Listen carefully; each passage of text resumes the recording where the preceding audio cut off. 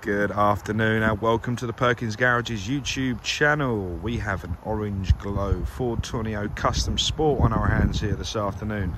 This one has done just under 13,000 miles.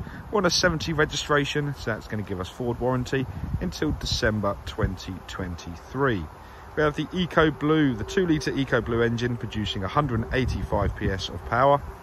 That 185 PS of power is then transmitted through a 7 speed automatic gearbox. These custom sports are filled to the brim with specification, let me tell you that for nothing. So let's start at the front of the vehicle where we can see your gorgeous Bi-Xenon HID headlights. Admittedly, you've got my shadow in most of it, but that's the time of year.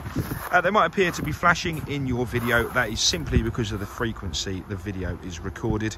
But let me assure you, those daytime runners outside the perimeter of the lamp there, they are looking beautiful from my eyes. If we go further south now, we can see some nice large front fog lights. We've got parking sensors trailing around the front bumper as well. And behind there, we've got a little radar. Uh, so that's going to suggest we've got driver assistance pack as well. So we'll cover the driver assistance once we get inside the vehicle. We're going to pan round now. So part of the driver assistance pack is blind spot assist.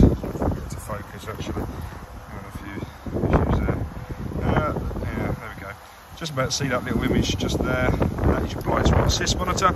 So if someone was in your blind spot, either the near side or the off side of the vehicle, you're going to get a little orange illumination to tell you it's unsafe to pull in or out, which is a very handy feature.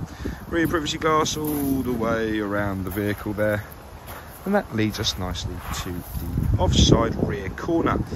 And whilst we're here and we've got a bit of sunshine, we'll try and give you some lovely reflections down the side of these. Oh, I am a massive fan of this orange glow colour.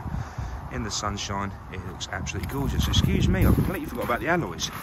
My bad. So we've got some 17 inch machine alloy wheels here, and now they are fitted with Michelin's on every corner. Of that. As you can see, you've got your nice shiny chrome face. That's the machine cut bit. Then you've got the gloss black backing it up there as well. So really, really lovely wheels on these Tourneo Customs. Okay, the rear of the vehicle, rear parking sensors around the bottom lip there, and equally a rear vision camera. The sports come with a lovely stripe kit as well, so you'll always know it's a Tourneo Custom Sport. Okay, now we're at the near side rear corner. Let's try once more to give you some nice reflections on that there. Excuse that little bug that's decided to uh, take home. There we are, bug's gone. Okay, so this is the near side, near side front door. Once more, again, blind spot assist monitor, near side mirror, near side front wheel. Beautiful. Okay, so this is a short wheelbase version, it's the L1. But don't worry, you still get tons and tons and tons of space. Very high volume in the rear of these Tourneo Customs.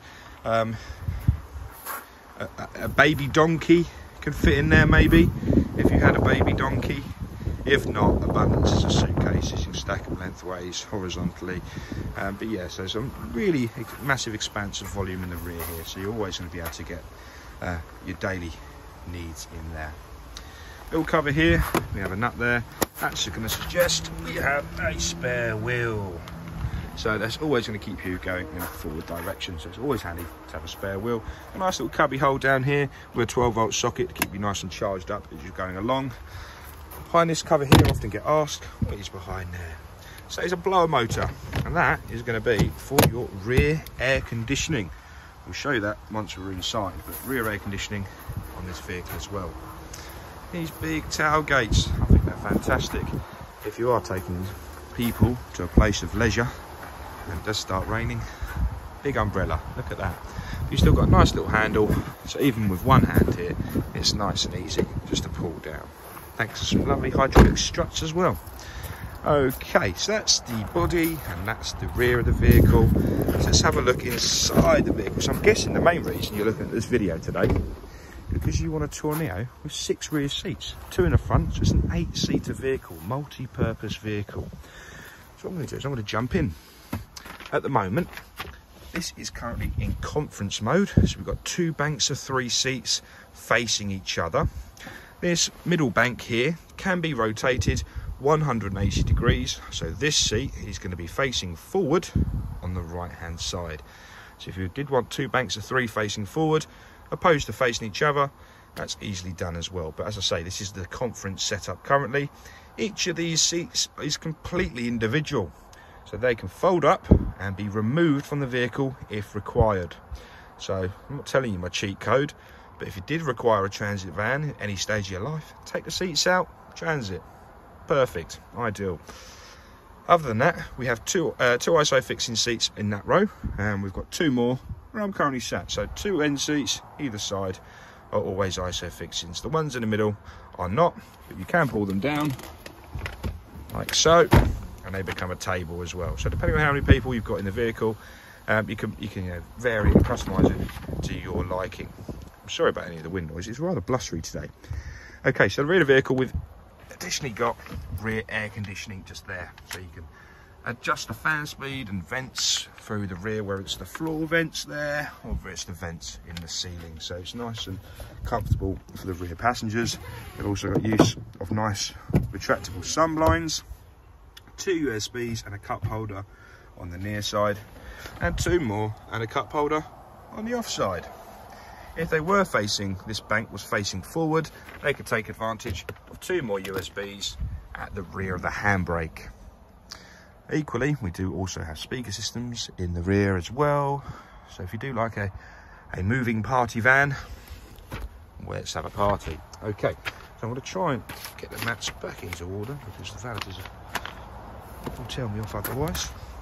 Um, just a point to add, just in case you didn't know, two opening sliding doors, so either side. So if you were parked roadside, you didn't want your passengers getting out into the road, you've got a door either side. Nice and convenient. Okay, let's have a look at the driver. What's the driver to play with? Two electric front windows, electric mirror controls, interior locking is found just next to the door handle. In the door card also, some really nice deep filling bottle holder, drinks holder. So we've got a nice bottle holder there. Equally, again, one there as well. Being a Tourneo, I'm guessing you'll be sitting on the road for a long time, so it's crucial you've got somewhere to put your drinks. Let's talk about the seats quickly. So the driver's seat is not only heated, but it's also one, two, three, four, five, six, seven, eight, with your lumbar, lumbar, nine, ten. 10 way adjustable driver's seat. So that's your seating. It's a really durable, hard wearing leather. And we've got a cloth base as well. So part leather, part cloth. And again, these seats are heated also. Before I jump in and show you around, I just wanted to mention under the driver's seat here in this little flap is where you'll find your jack and your brace. Whoop, if I drop it, uh, for your spare wheel. So all the tools and jacks are supplied for what you need. Okay, so this is the key, remote central lock-in with a blade. So I'll pop that in, in the ignition. I should stop looking at the camera and start looking at the actual thing. It's not easy to do things. Okay, so jumping into the vehicle now. Okay, before we give you power, let's show you this little cubby hole here. 12 volt socket and a USB, so it's a nice little private one for the driver. Nice little document holder as well. If you were going Eurotunnel, boarding a ferry, keep your documents nice and safe.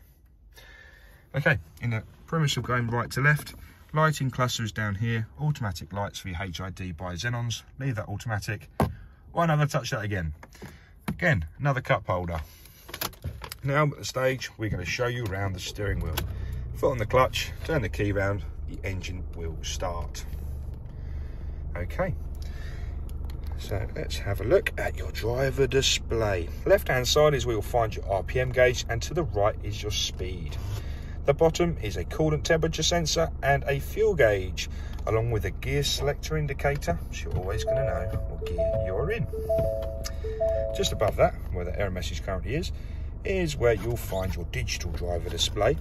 As you can see, we've done 13,047.9 miles. So we've got different things in there, but whilst we're on this screen, we can go into the driver assistance and we've got blind spot assist, pre-collision assist. So remember that radar I mentioned at the front? That's going to be controlling a lot of this. Traffic sign recognition, lane keeping system, driver alert, cross traffic alert, eco coach, cruise control, and a speed limiter. So tons and tons of driver assistance software on board this vehicle. It mentioned cruise control there.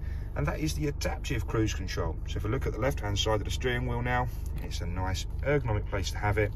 Everything's always at your thumb, and it's nice and easy to adjust your speed, adjust your distance, set your limiter, or even control your volume controls there as well.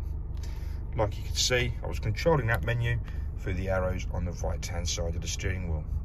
Equally below that cluster is a phone connectivity buttons as well, and that leads me on nicely to our Sync 3.4 module here. So this includes your satellite navigation. So this, I can get the brightness down a little bit maybe. There we are. So this is a Sync 3.4 module. We know that because we've got the dark blue band at the bottom. Fully supported of Android Auto and Apple CarPlay. So whatever software you use, plug your phone in and be a nice hands-free system. That gives you access to all the software such as navigation, podcasts, uh, music. But my favorite feature, it makes it hands-free. So by that, you can use the voice activation button on the steering wheel, activate Siri, and that will set navigation, that will call anybody, that will send text messages, so you'll never be on your phone whilst driving. But a little bit more about this module. Lots of things happen on here, whether it be your rear reversing camera comes up when you go into reverse. We've got the automated parking function, so if you click on the parking, that's where your Ford Active Park Assist is going to come up as well. Equally on the screen, we have the Sync Ford navigation also. So click on your navigation. For example, we wanted to come to Perkins for a cup of coffee with me. Charlie Mike, 776 Sierra Alpha. Just look how responsive that is on the keys there. Really is nice and quick. Click search there, it's found us straight away. I won't click start because it'll start shouting at me, but that's how easy it is to set a navigation. And back to your home screen now.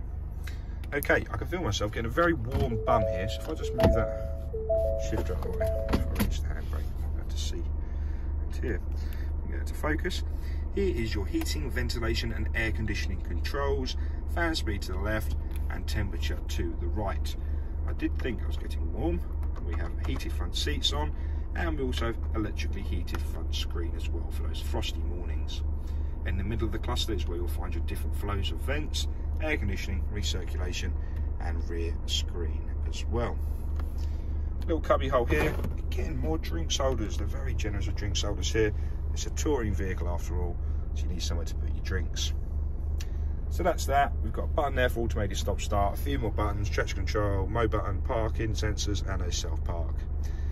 Before I go, we have a seven speed automatic gearbox nice and easy to navigate through you also got the semi-automatic function so you can go through those seven gears manually if you require okay so in these 13 minutes or so i hope hopefully i've given you some insight to this wonderful vehicle did you have any questions do give myself or one of the sales team a call 01376 550 899 thank you have a good day and I look forward to speaking with you soon